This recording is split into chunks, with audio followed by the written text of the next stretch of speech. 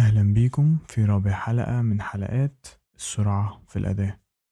في الحلقة دي هنعمل برج ملتف وهنستخدم أداة ال Blend عشان نعمله. لو عايز تدعمني وتدعم الشغل اللي بعمله ما تنساش تشترك على القناة وتنشر ال link بتاعنا في كل مكان. هنخش على Architecture tab تحت Component Model in Place بعدها ننزل تحت شوية Generic Models وندوس OK.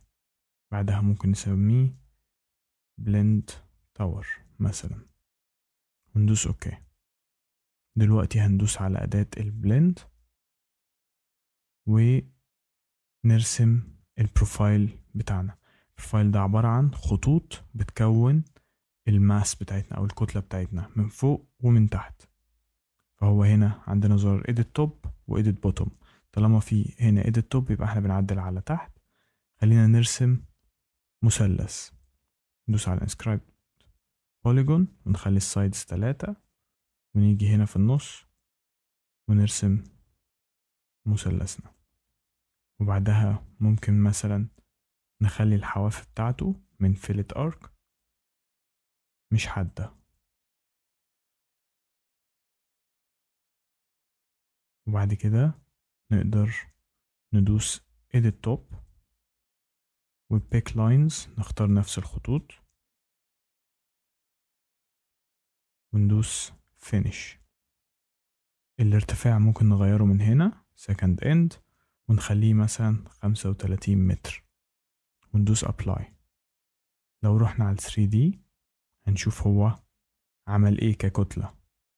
نقدر ندوس على الكتلة دي وندوس edit base أو edit top في ال 3D ونعدل عليهم. لكن ممكن برضو ندوس edit vertices. لو دوسنا edit vertices بيديك نقاط تحكم لكل vertex عندك في الشكل الهندسي. لو خليناها control base بيحولهم لتحت. لو فضلنا في ال top بيفضل فوق. ممكن نعمل twist right أو twist left عشان نلف الشكل الهندسي ده من فوق أو من تحت ونعمل reset لو عايزين نرجعه لشكله الأصلي. خلينا ندوس twist left مرتين وبعدها ندوس على modify وندوس finish هيعمل الكتلة اللي إحنا عايزينها. بعد كده من تحت نخلي ال visual style shaded عشان نشوف شكلها ونتأكد وندوس finish model دلوقتي نقدر نخلي الواجهات زي ما إحنا عايزين. ندوس على architecture وندوس على curtain system لو عايزين نعمل الإزاز الأول أو wall wall by face لو عايزين نعمل الجوانب دي الأول. هندوس عليهم ببساطة. وبعد كده نتوجه إلى Architecture Curtain System. ونختار كل الواجهات اللي عايزينها تبقى إزاز. وندوس Create System. طبعا نقدر لسه نعدل عليهم. لكن خلينا نقفل ال mass عن طريق إن إحنا نعمل roof by face ونحوله لحاجة إحنا مختارينها. ندوس create roof. وممكن تحت نخليه roof أو floor نختار ال pick lines بعد كده ندوس finish. دلوقتي عشان نخلي الواجهة الإزاز زي ما هي موجودة في ال thumbnail هنشيل ال mass هندوس tab لغاية لما تظهر ال mass ال generic models دي. كليك يمين hide in view element وندوس على ال curtain wall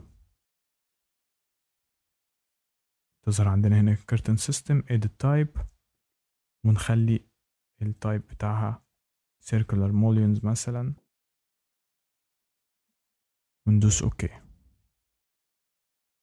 دلوقتي ممكن نخليها شكلها أفضل عن كده لأن كده الإزاز شكله طالع برا شوية عن طريق إن إحنا نعدل على ال grid lines زي ما عملنا في الفيديو اللي فات. هندوس على ال grid line نفسه نشيل من عليه ال pin ونحركه لو عايزين بأسهم الكيبورد أو حتى ندوس على architecture curtain grid ونضيف segments. إحنا لو عايزين نضيف segments كل ما تزودها كل ما تقل التكسيرات الغريبة اللي بتحصل مع انحناء الكتلة.